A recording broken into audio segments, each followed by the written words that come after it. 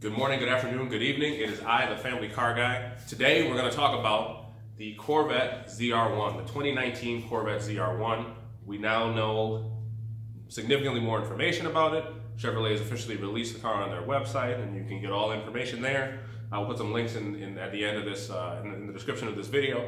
But uh, my plan was, if you guys saw my uh, couple videos back where I was talking about, uh, my plan was when that article leaked in Car and Driver to be at the LA Auto Show with my wife and, and doing kind of some live footage of, of the car in person. Unfortunately, that didn't work out. But I did want to talk about it because now we know uh, a lot more information, as, as I said. So the question I'm asking myself and I'm asking you guys is, is the Corvette ZR1, the 2019 ZR1, a great deal? Is it the same that supercar bargain?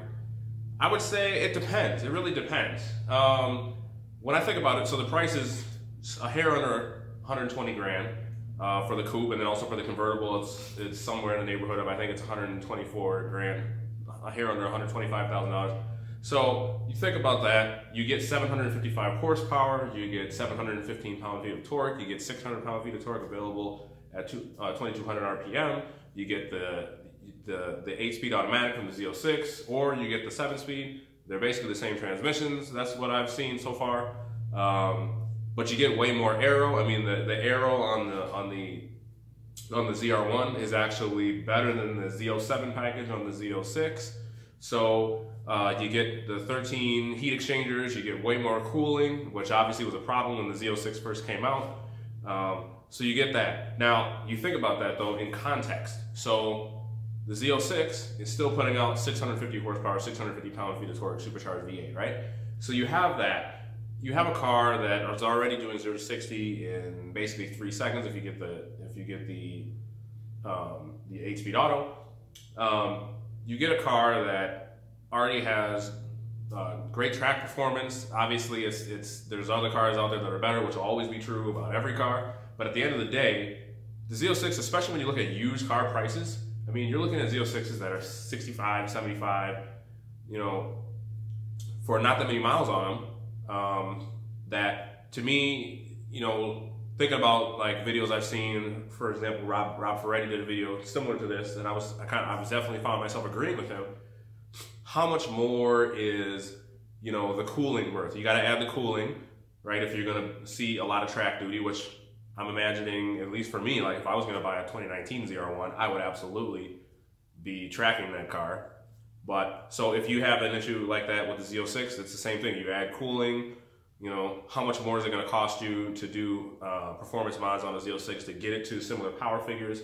So when you're talking about brand new cars, I would agree that the ZR1 is probably um, a, still a supercar bargain. But at the end of the day, if you are already a Corvette owner or you're thinking about getting a, a Z06 or even the previous generation ZR1, which is putting out 638 horsepower, uh, and has also great performance numbers. And you also get the the the um, performance traction management. You get the the suspension mods, those types of things. Um, so there, those are all the things to consider, you know. And the other thing I think about is stand, you know, sitting right behind me is you guys see my 2006 Corvette Z06, and is it on the same level as either the the C701 or even the C706? No, it's not. But is it a performance bargain? I think so. I mean, this car, and I'll make a video on this, you know, uh, in, in the coming weeks. But my car, I paid, I'm, I'm trying to remember exactly. I think it was 25, 26 grand for this car. And this car has 505 horsepower.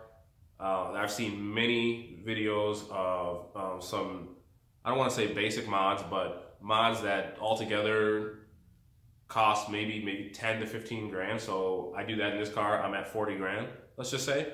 And I've got a car that can run low tens. I got a car that, you know, is producing well over 600 horsepower uh, at the crank. So when I think about in terms of just even just if we're staying with Corvettes, is the ZR1 a performance bargain? Uh, it depends. If you're comparing it against McLarens, you're comparing it against GTRs, or you're comparing it against uh, Porsche 911 GT3s and, and things like that, then maybe, you know, but in the grand scheme of things, I don't know. Would I love to have one? Absolutely. Well, if I get the chance to drive one, will I jump on it? Absolutely. And and I think as as as car enthusiasts, we all should, right? I mean, I think the Lamborghini Aventador, even though it's one of my favorite cars, is I I definitely think it's not a very good deal. I mean, the, the Lamborghini Huracan is two hundred fifty thousand, and it's nearly as fast, right? I mean, we're talking like tenths of a second slower than the Aventador, right?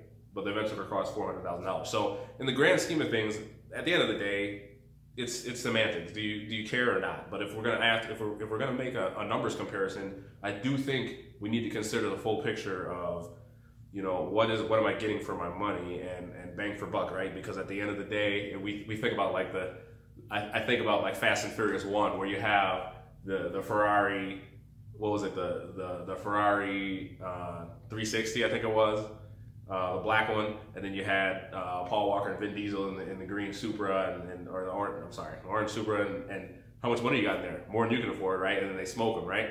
So it's the whole idea of what what do you value? You know, what's what's most important to you in terms of how how far can you stretch your money? I mean, even my C4 over here, which you know, here we go, got, got the C4 in the picture.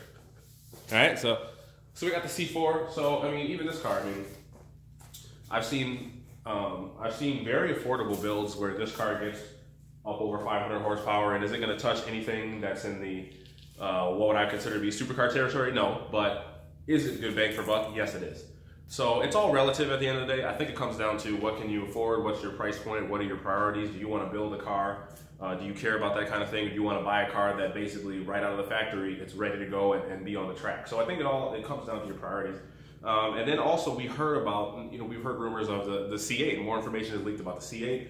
We've heard that the that it might come out as early as 2020, you know, or in 2019 being released as, as a 2020 model. So there's different things that, you know, that, are even leaking about that car. It might have three different engines. I don't, I'll, I'll probably have to go back and, and do more research on that. But I've, I've heard some things about that car as well. That's, that's very interesting. So how much is that car going to cost when it comes out? Is it going to be 200 grand? Is it going to be 150 grand? I mean, who, what, what are the performance benchmarks that that, that Corvette is going after uh, as it builds the, the C8, the first mid-engine Corvette, right? So, and what is that going to do to Corvette prices? So again, all relative. Let me know your your thoughts. Uh, like, comment, subscribe, share. Uh, let me know what you guys' thoughts are in the comments. Uh, I've got plenty more content coming for you guys. Um, Hope you guys had a great holiday, and we'll see you in the next one. Take care. Bye.